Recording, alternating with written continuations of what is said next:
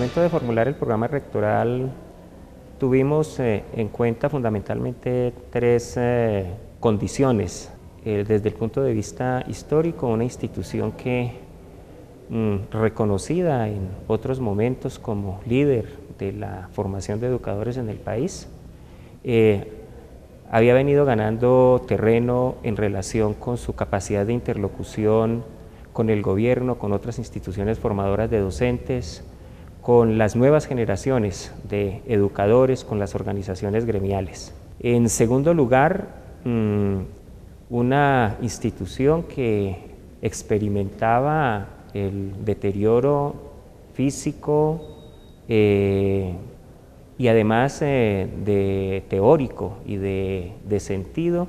eh, a la luz del olvido en el que la venían sometiendo los gobiernos de los últimos tiempos. Y en tercer lugar,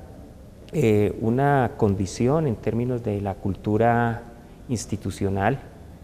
que se había venido caracterizando por un eh, deterioro muy profundo en las relaciones entre los distintos estamentos, en las formas de reconocerse como institución formadora de educadores, en eh, una crisis muy profunda desde el punto de vista de los temas de convivencia. Esos eh, tres elementos, digamos, gruesos, identificados por muchos sectores de la universidad y algunos de ellos incluso puestos en evidencia por una crítica de la que venía siendo objeto la universidad desde instancias exteriores, fueron los eh, elementos que en buena medida contribuyeron a formular los cinco ejes rectorales.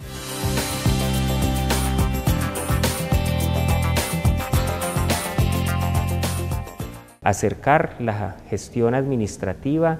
a las iniciativas de los grupos académicos, de las facultades, eh, generar nuevas condiciones en relación con la gestión académico-administrativa. Y eso se traduce fundamentalmente, por un lado, en la, haber modificado el estatuto de contratación de la universidad y avanzar en esa medida en otorgarle capacidad de gestión y de decisión a las eh, a los centros de costo en cabeza de las vicerrectorías de las cinco facultades del Instituto Pedagógico Nacional. En segundo lugar, mm,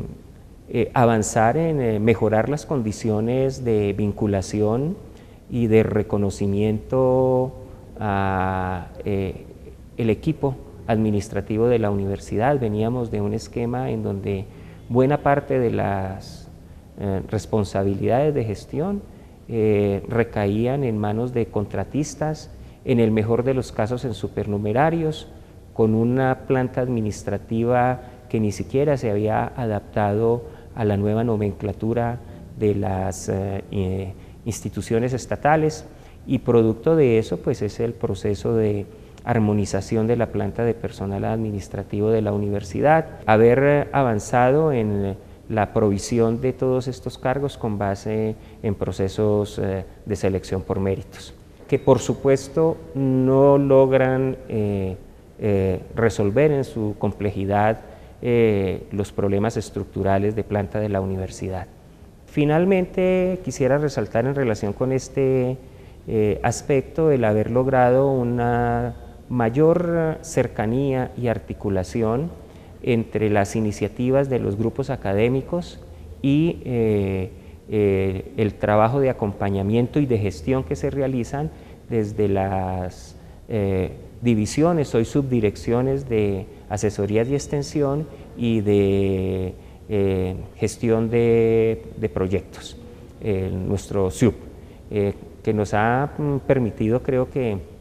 haber avanzado significativamente en lograr que las eh, iniciativas de los mm, departamentos, de las facultades a través de sus profesores y de sus grupos de investigación eh, sean las que se constituyan en la mejor carta de presentación a la hora de establecer eh, convenios y contratos interadministrativos en la medida en que la mayor parte de esa gestión que realiza la universidad está enfocada a apoyar el desarrollo de proyectos e iniciativas con otras instancias del gobierno distrital, del gobierno nacional y de los gobiernos eh, locales.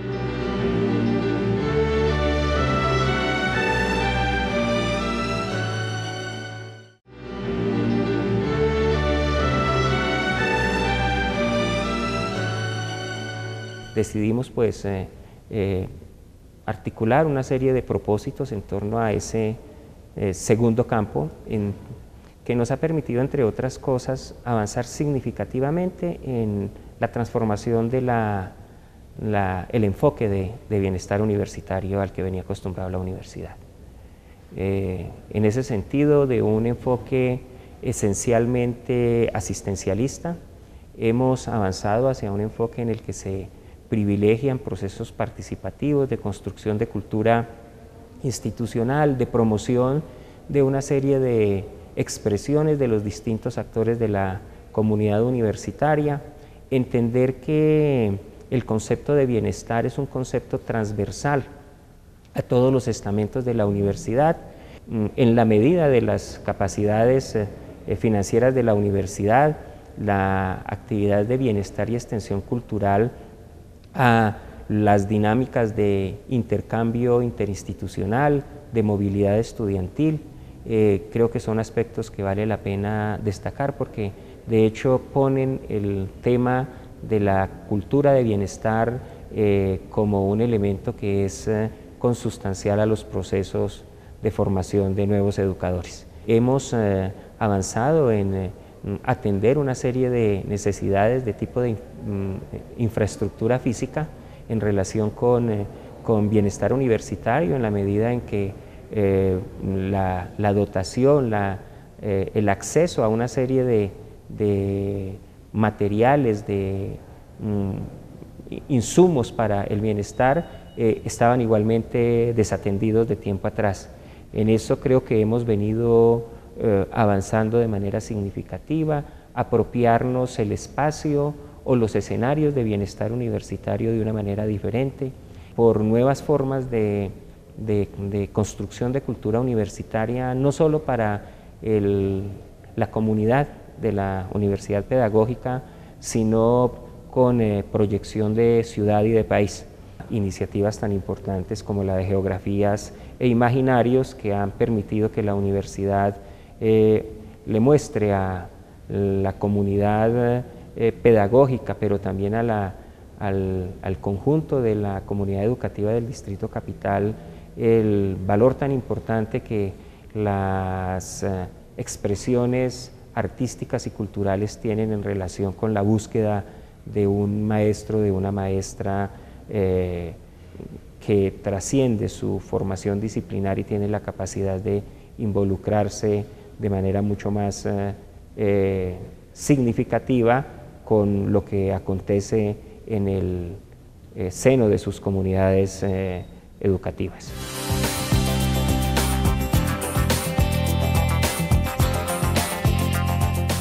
Si se hace un balance crítico, tendríamos que reconocer que infortunadamente los logros no han sido tan significativos como hubiésemos querido, pero más allá de eso vale la pena destacar, entre otros aspectos, los siguientes. En primer lugar, logramos mediante una gestión concertada con eh, el apoyo eh, irrestricto del Consejo Superior, con el acompañamiento del Consejo Académico, eh, que un grupo significativo de maestros de la universidad que tenían compromisos por cumplir en relación con su formación doctoral hubiesen logrado adquirir sus títulos y que en estos momentos hayamos prácticamente duplicado el número de doctores de la universidad frente a lo que encontramos en el año 2010 que un número significativo de esos doctores se haya vinculado a las líneas de investigación que le dan, eh, entre otras cosas, eh, mm, aliento a nuestro, nuestra participación en el programa interinstitucional de doctorado con la Universidad del Valle y la Universidad Distrital Francisco José de Caldas. Este doctorado sea tal vez el doctorado más robusto, más importante en educación que tiene el país. Haber avanzado en eh, eh, ofrecer una serie de iniciativas que, mm, valga la pena decir, no han sido aprovechadas en su integralidad por un, buen número de nuestros docentes, pero que ponen de presente cómo efectiva, eh, de manera efectiva la universidad ha tratado en estos cuatro años de atender a esas necesidades de formación. Y hay un aspecto que yo creo que no estaba inicialmente planteado como tal en el, en, eh, el programa rectoral, en el plan de desarrollo, si bien se articula eh, finalmente a, muchos de estos propósitos y es el gran esfuerzo que hace la universidad por acompañar al distrito capital en la formación a nivel de posgrados de un número muy importante de sus maestras y maestros. Esto ha permitido además, eh, mm, yo creo que mm, generar nuevas eh, posibilidades de, intercambio, de, seguimiento, de evaluación de nuestras propuestas de formación a nivel de, posgrado. No teníamos como una mm, meta eh, específica de lograr la acreditación institucional. Hemos hecho grandes avances en esta dirección, eh, partiendo de algo que es muy importante y es que la acreditación institucional no es un fin en sí mismo, pero además no es eh, un propósito al que se logra llegar con base en simples condiciones de tipo físico mm, y de infraestructura. Es necesario mirarla en todas sus otras dimensiones. Creo que en eso ha habido unos eh, avances significativos.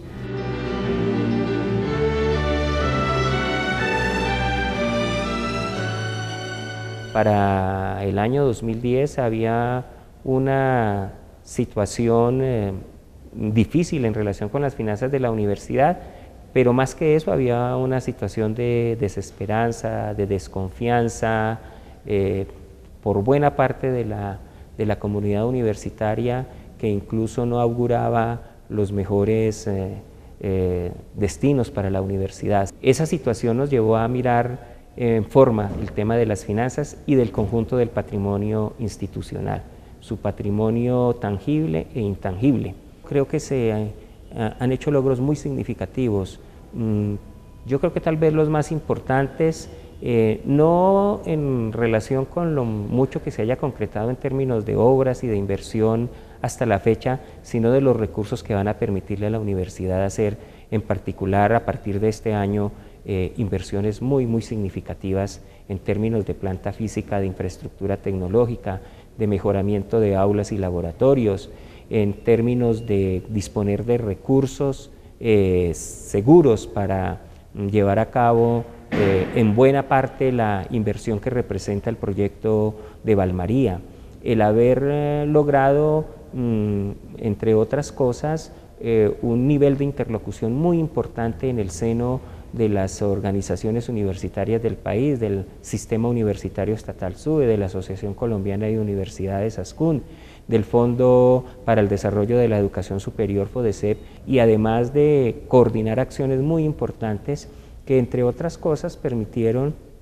eh, el que al conjunto de las instituciones de educación superior estatales eh, en los últimos años empezasen a destinarse recursos muy importantes lo que representó, eh, entre otras cosas, los recursos para los años 2013, 14 y 15 eh, derivados de la reforma tributaria que se conocen como recursos CREE, que le han permitido a la Universidad Pedagógica Nacional contar eh, para este año con aproximadamente 10 mil millones de pesos destinados a inversión, cuyos proyectos se encuentran ya debidamente eh, radicados en la eh, Oficina de Desarrollo y Planeación, el haber logrado mm, concretar el préstamo con eh, por valor de 8.900 mm, millones de pesos, con los cuales se está este año iniciando la construcción de las aulas y las graderías de la que permitirán culminar la primera fase de la primera etapa del proyecto Valmaría. Por otro lado, vamos a iniciar procesos de recuperación de dos de las eh, instalaciones de la universidad que tienen el carácter de de ser eh, eh, patrimonio histórico del distrito, mm, como es el, edificio en donde se inició el programa de preescolar del, Instituto Pedagógico Nacional, que usualmente se ha conocido como casita de biología, pero que eh, históricamente realmente constituye un, escenario muy importante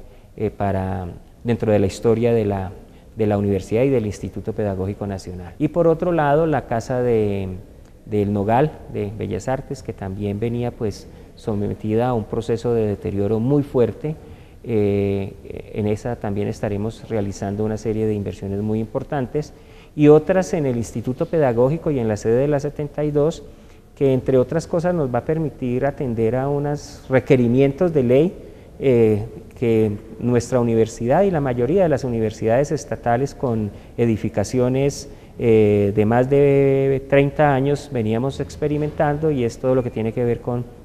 temas de reforzamiento estructural, como se corresponde con las normas actuales para efectos de eh, los procesos de atención a poblaciones con necesidades especiales desde el punto de vista de acceso y de atención a sus eh,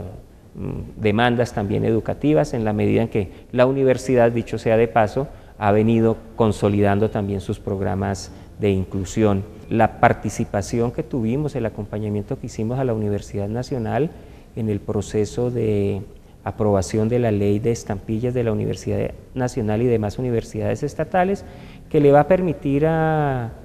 todas estas instituciones y en particular a nosotros de contar con recursos eh, adicionales para inversión a partir del,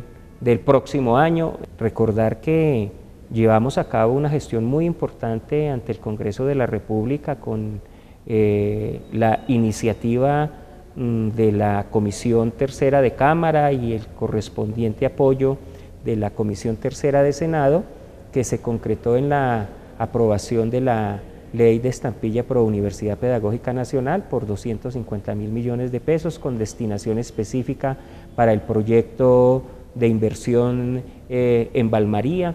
Hemos tenido dificultades, entre otras cosas, atribuibles no a la gestión de la universidad, sino a las condiciones particulares que en los dos últimos años se han verificado en el contexto del distrito capital y que han hecho que la reglamentación de la del recaudo de la estampilla se haya demorado un poco más de lo deseable.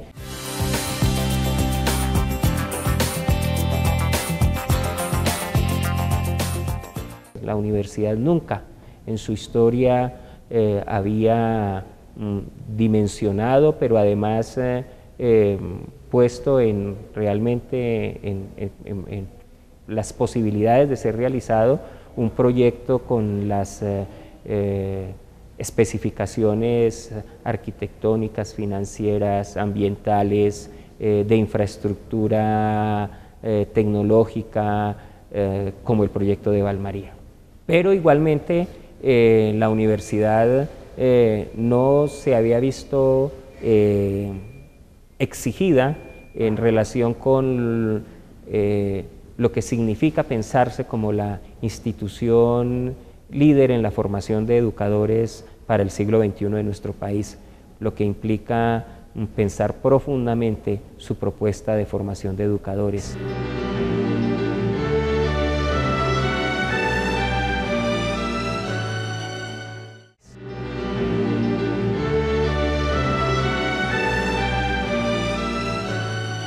Creo que la, la universidad está en estos momentos en unas condiciones muy importantes unas condiciones muy sólidas,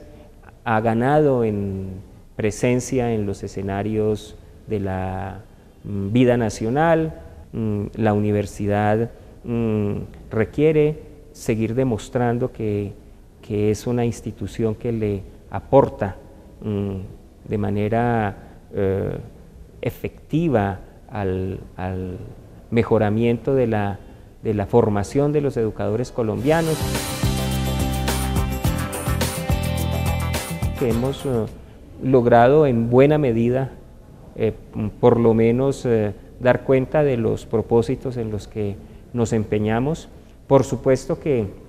el balance que se hace desde la rectoría de la universidad es un balance mm, parcial. Esto tendrá que ser a su vez mm, sopesado con la, apreciación que otros actores de la vida institucional y nacional tienen, tienen de, la, de esta gestión. La universidad eh, ha tenido unos avances muy significativos en relación con el tipo de proyectos que hoy adelanta eh, desde el punto de vista de asesorías y extensión. Hemos eh, terminado esta gestión con